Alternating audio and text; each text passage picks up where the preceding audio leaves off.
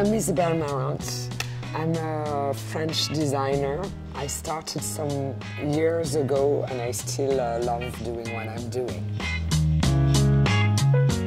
Very proud that H&M approached me to do this collaboration. I, I really tried to do the essence of my style and my style is about combining different ideas in the collection for H&M. It's an ideal wardrobe that you can do a lot with, yeah.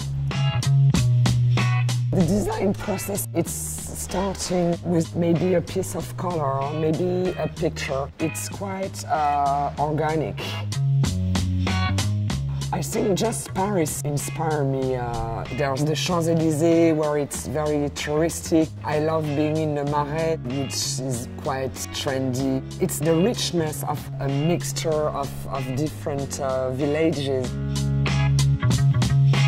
I'm a very representative French girl. I think my clothes are speaking better about me than, uh, than anything.